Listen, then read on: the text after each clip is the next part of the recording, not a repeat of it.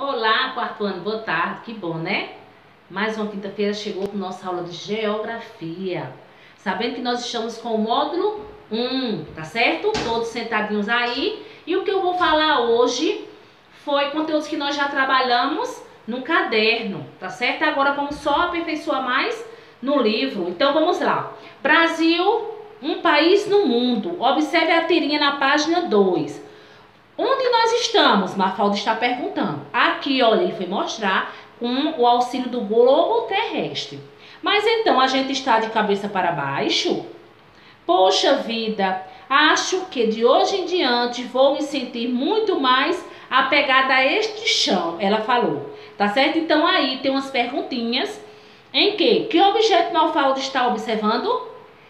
O, o globo terrestre. Para que serve esse Objeto, para termos uma localização da Terra em tamanho reduzido. Então, a, o globo terrestre, ele tem, é, é o que melhor representa a Terra. Já o planisfério, ele é plano. Temos toda a localização de todos os países. Já no globo terrestre, não, a gente precisa girar ele. O que Mafalda encontrou? Sua localização no globo terrestre, ok. Você consegue localizar o Brasil observando o globo terrestre? Consegue? Muito bem.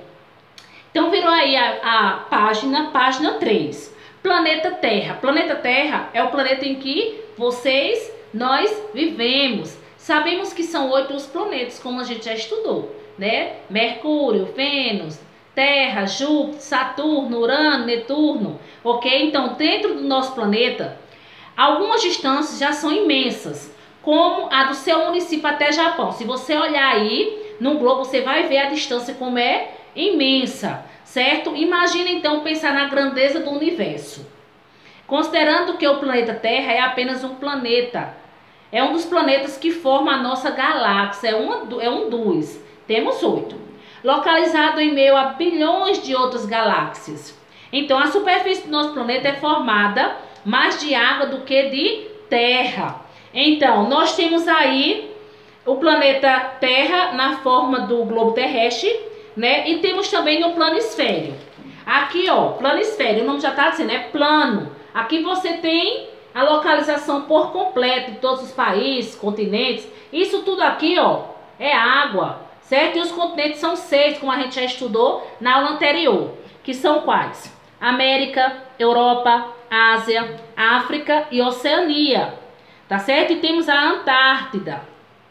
Então, aqui, virando a página, a página 6, que a gente já trabalhou esse conteúdo, eu tô dando só uma revisada, vocês irão preencher aqui, ó, os seis continentes e localizar o Brasil aqui nesse planisfério. Então aqui eu quero mostrar para vocês, o Brasil está aqui, ó. Aí você vai pintar os oceanos de azul, o Brasil de amarelo e os continentes de marrom. Então em que, em que continente está localizado nosso Brasil? Na América, certo? Então virou aí a página 7 Vamos trabalhar o Brasil, localização no mundo. Quando alguém pergunta o seu endereço, você já diz o nome da rua, a cidade, o bairro, o estado, o país, não é isso? Mas você sabe informar a localização do Brasil no planeta? Para isso, podemos utilizar o sistema de coordenadas geográficas. Então, nós temos aí, as coordenadas geográficas são determinadas por linhas imaginárias, traçadas no mapa ou no globo terrestre. O que estas linhas que cruzam o globo terrestre são chamados, temos os paralelos e os meridianos. Então aqui, ó, quero mostrar para você. Então, os paralelos são linhas, imagi são linhas imaginárias horizontais. Aqui no meio nós temos a linha do Equador, certo? Que divide a Terra em dois hemisférios, o hemisfério norte e o hemisfério sul, determinando a latitude em zero grau. Já os meridianos, que é esse aqui, ó, são linhas imaginárias verticais, traçadas de um polo a outro da Terra.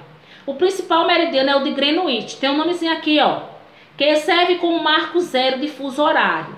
A distância entre os meridianos recebe o nome de longitude.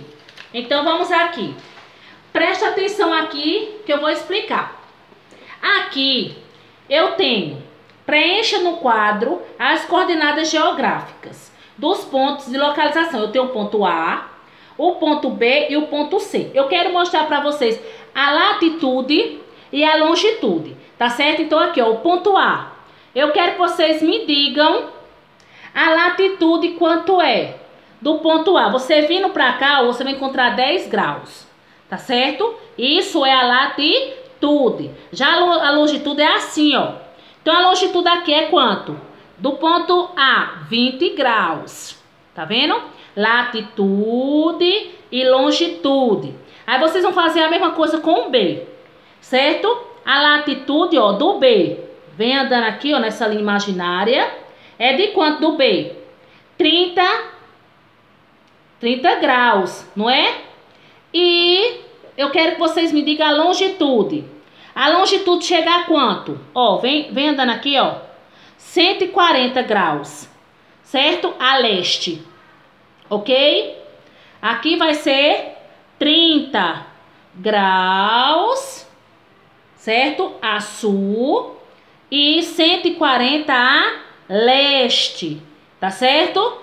Então preste atenção no ponto C aqui, ó. O ponto C eu tenho quanto? Me digam aí. De latitude, vocês estão vendo, ó? 30 graus aqui, a norte. E vem andando aqui, ó. E quanto? O C. 100. 100 graus a oeste. Entendido isso aí, gente? Então, latitude e longitude. Tá certo? Vocês agora irão fazer esse quadrozinho aqui abaixo. Tá certo? Então, nossa aula ficará hoje por aqui, pessoal. Então, fique com Deus e até amanhã com nossa aula de ciências.